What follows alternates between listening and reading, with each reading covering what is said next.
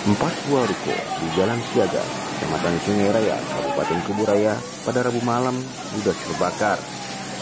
Kebakaran yang diduga berasal dari satu rumah makan yang diakibatkan lepasnya selang regulator tabung gas saat sedang memasak.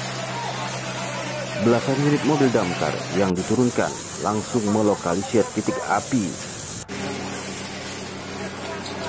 Penghuni ruko yang berdempetan mencoba menyelamatkan harta benda mereka aparat kepolisian yang berada di lokasi kebakaran juga berjaga-jaga mengantisipasi penjarahan.